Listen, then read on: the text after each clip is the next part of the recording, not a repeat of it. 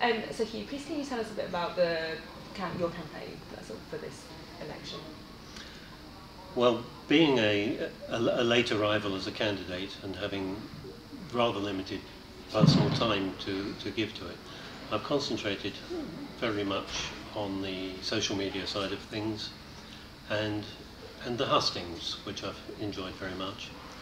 Uh, they, they, together with the large numbers of emails that one gets as a candidate, which I've replied to quite carefully, uh, means I've been able to, to contact a decent number of people um, despite not, in, not having the time to do um, any significant amount of doorstepping.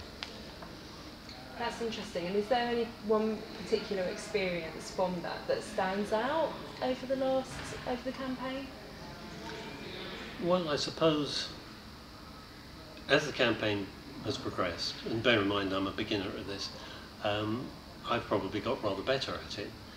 Um, so the last one was probably the most enjoyable, but it happened to be at the new Islamic Centre in London Road, um, where they made me extremely welcome um, and I was able to get some of my ideas across without being as tongue-tied as I usually am.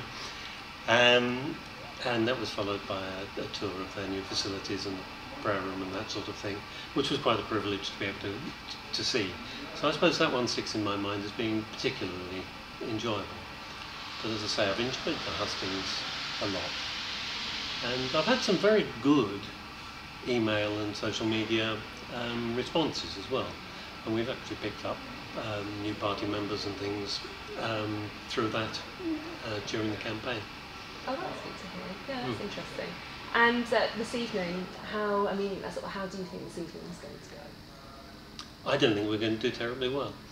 Um, when we started two months ago, we didn't think we were going to do terribly well, and so I suppose you could just say that we were right.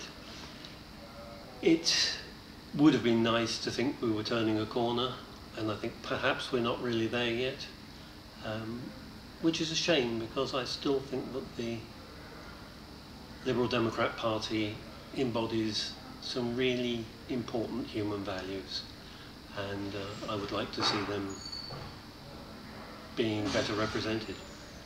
And what do you think the future the Liberal Democrat Party has in store in terms of the future? I think we'll know a little better later on tonight. Okay.